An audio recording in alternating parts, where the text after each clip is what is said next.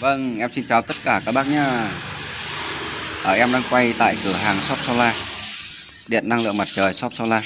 Các bác có thể thấy này, cái tấm pin này à, do quá trình vận chuyển đã bị vỡ. Đấy. À, ngày trước chèn xốp như thế này vào nhưng mà vẫn bị vỡ.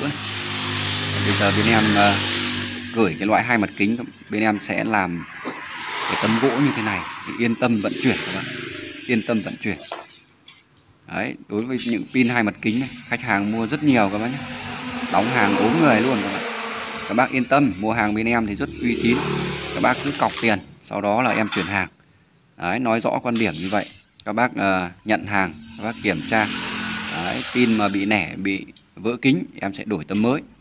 Đấy, còn không thì sau đó các bác uh, kiểm tra xong thì các bác sẽ uh, thanh toán tiền Đấy, đó là cái quan điểm rõ ràng các bác nhé. Đây em đang cho anh em đóng tiếp pin ờ, 385W hai mặt kính và pin ờ, V-Sun 440W Đấy, khách hàng đặt rất nhiều kể cả một tấm bên em cũng ship nhé. Các bác mua hàng thì các bác à, liên hệ với em theo cái số điện thoại trên màn hình. Đấy, riêng à, cái loại hai mặt kính à, đây là tấm ờ, uh, 440W này. Đấy, phía đằng này là 440W mới đóng được có 4 tấm cho khách hàng thôi.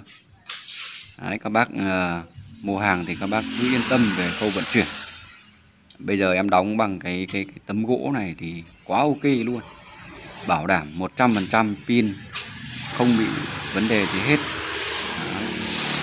em lúc nào cũng nói rõ với các bác là các bác nhận hàng các bác kiểm tra. Sau đó các bác thanh toán.